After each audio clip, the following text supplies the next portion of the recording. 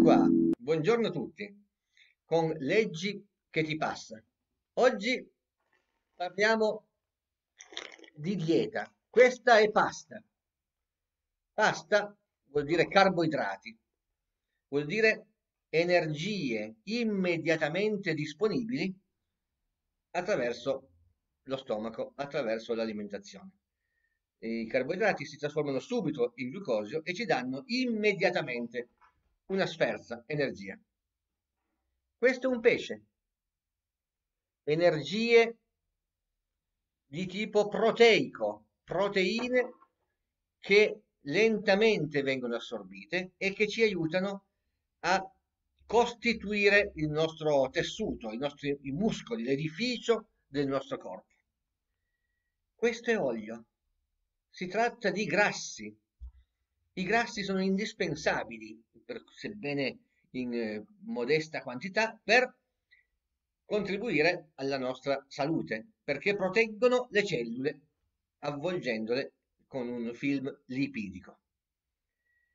Questa è una carota, vuol dire sali minerali. I sali minerali sono indispensabili alla vita, ne servono pochi, pochi milligrammi al giorno, ma sono necessari. Questa è l'acqua. Come tutti sappiamo, non possiamo vivere senza l'apporto di acqua. Cosa c'entra tutto questo con la letteratura, con la nostra rubrica che si chiama Leggi che ti passa? Ebbene c'entra, perché se io sono vivo e voi siete vivi, è perché negli ultimi giorni avete introdotto carboidrati, cioè energie immediatamente disponibili che vanno nel sangue e ci danno forza, avete assunto proteine, animali o vegetali, ceci, lenticchie, quello che volete. Avete introdotto dei grassi, avete mangiato insalata, verdura, frutta per i sali minerali e avete bevuto acqua.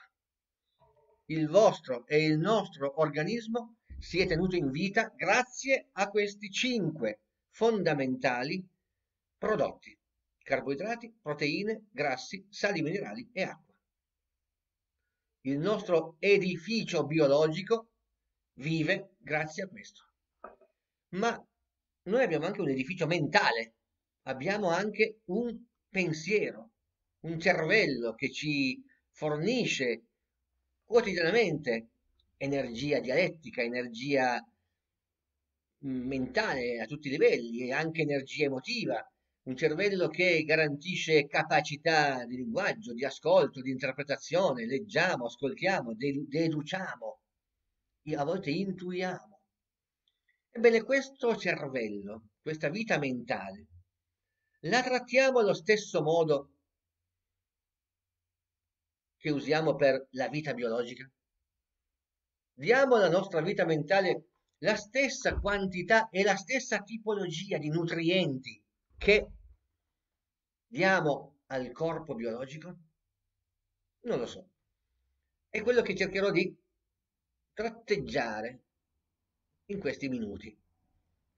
La nostra vita mentale ha bisogno di nutrimento esattamente come il nostro corpo biologico e ha bisogno di un nutrimento al, al tempo stesso identico a quello del corpo biologico un nutrimento variegato, abbiamo bisogno di carboidrati per la mente. Ma cosa sono i carboidrati per la mente? Che, che cos'è per la mente l'energia immediatamente disponibile? I romanzi. Pensiamo a Steinbeck, La valle dell'Eden.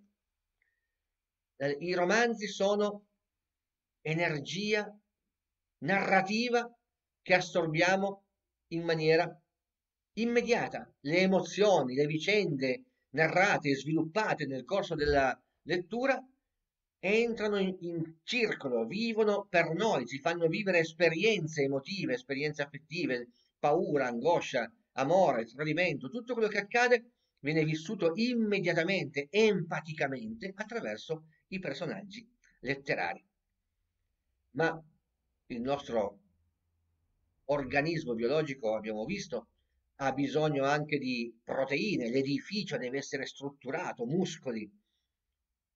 edificio corporeo, anche la nostra mente ha bisogno di essere strutturata con elementi analoghi a quelli proteici. E che cosa sono questi elementi analoghi agli ingredienti proteici? I saggi. I saggi forniscono alla nostra mente struttura, organizzano il pensiero, danno delle posizioni e danno delle interpretazioni al sapere e alla conoscenza. Un saggio come il Codice dell'anima di James Hillman svolge benissimo questa situazione. Ci organizza il pensiero su un tema, su una materia.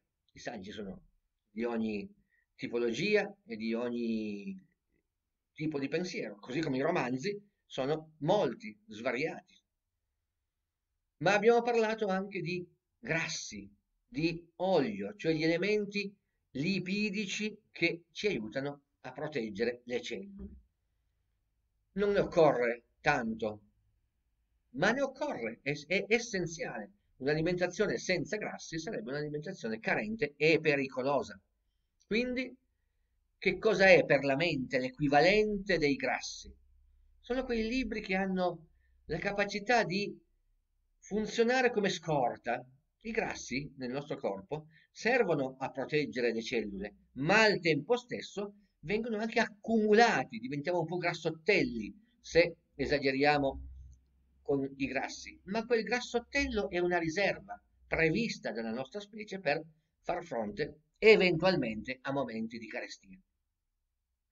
Ci sono dei libri che possono essere considerati come dei depositi per il futuro, i libri d'arte, le biografie di Michelangelo, per esempio, il libro di Philippe Daverio sulla, sull'arte, sui musei, sul, ecco, non hanno forse una immediata necessità di utilizzo, ma in un momento di carestia possono tornare alla mente questi testi, l'arte, l'energia che fornisce l'arte e darci importante nutrimento, sollievo nel pensiero.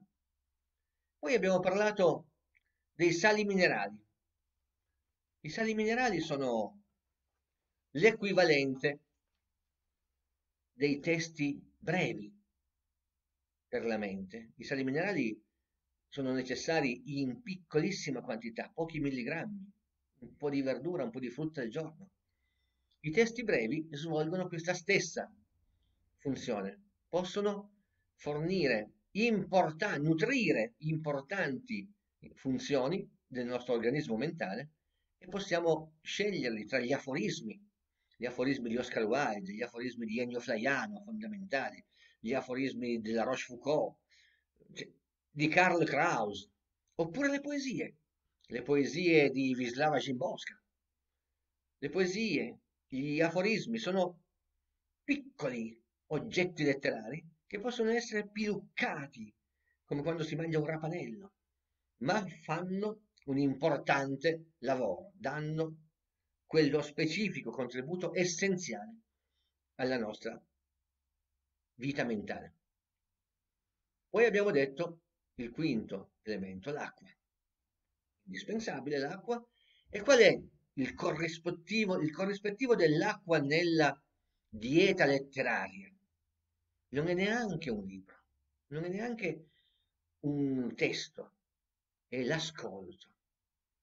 Come beviamo acqua che scorre in noi, dov dov dovremmo lasciare scorrere in noi le voci del mondo, le conversazioni, le chiacchiere, gli, i conversari, le amicizie che si basano su um, allegre discussioni, Ecco, ascoltare la voce del mondo e farla fluire in noi per armonizzarci con il resto del mondo.